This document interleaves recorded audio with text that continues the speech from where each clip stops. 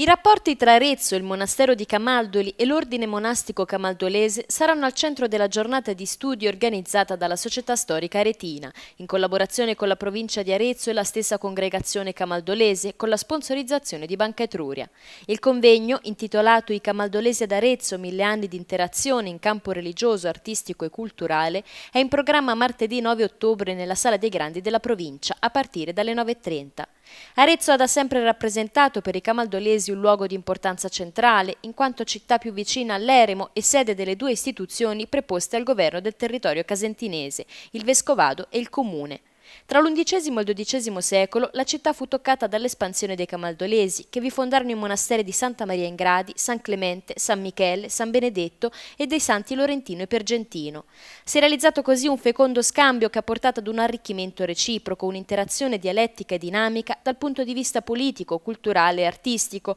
in un arco di tempo che va dall'undicesimo secolo alle soppressioni ottocentesche.